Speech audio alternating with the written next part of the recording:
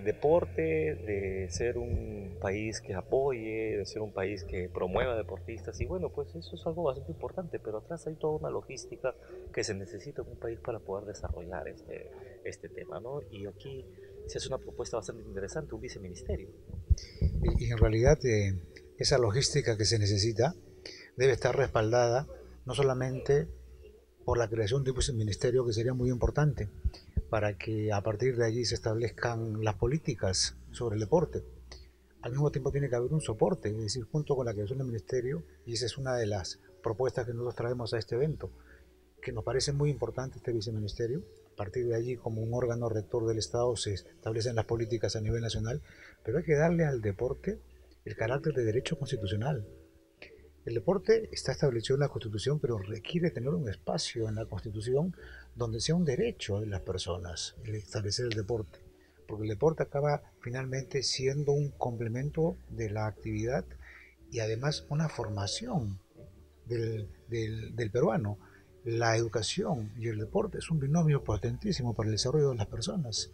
Manera de que la iniciativa de la congresista Chihuahua de crear un viceministerio de deporte nos parece formidable, estupenda y esperemos que sea ese un paso que pueda concretarse para que a partir de allí el deporte sea considerado un derecho al que podamos acceder todos en este país y reclamarlo y no reclamarlo como un saludo a la bandera, reclamarlo para que a partir de allí, repito, se hagan políticas y se genere presupuesto para toda la infraestructura que necesitamos. nosotros este, estamos a puertas prácticamente de participar en los Juegos Panamericanos y vemos con mucha envidia que otros países que tal vez no son tan democráticos como nosotros tienen democratizado el deporte porque lo tienen al alcance de todos sus ciudadanos.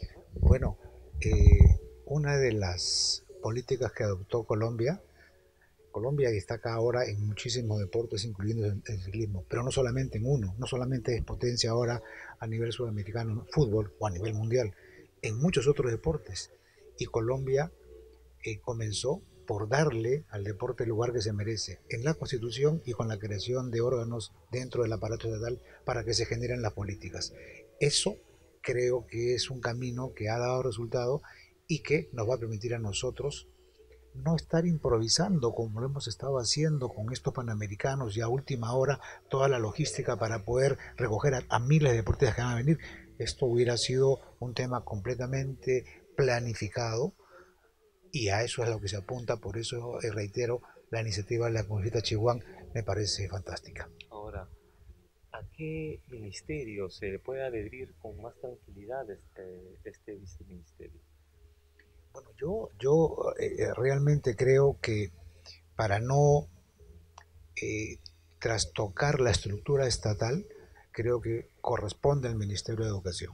Es decir, que haya un tercer viceministerio, yo diría hasta un cuarto, ¿ah? eh, es decir, ustedes saben que el Ministerio de Educación tiene dos viceministerios, el de gestión institucional y el pedagógico, que se refiere a temas puramente académicos.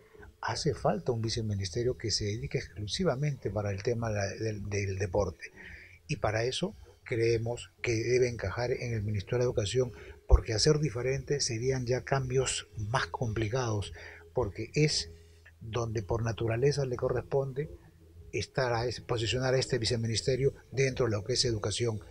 Eh, no nos olvidemos que es un, ministerio de educación que, como es formativo, está de la mano con la parte deportiva. Claro, va a trabajar con menores de 5 sí, por supuesto que sí. y, sí, en realidad a lo largo de las etapas. Y además, con un énfasis, ahora que han salido la normatividad de la cuestión superior, las universidades ahora tienen la obligación de establecer en las universidades deportes de alta competencia, por lo menos tres disciplinas. Entonces, son instrumentos que ayudan, pero que están muy relacionados con lo que es el tema educativo, porque es formación.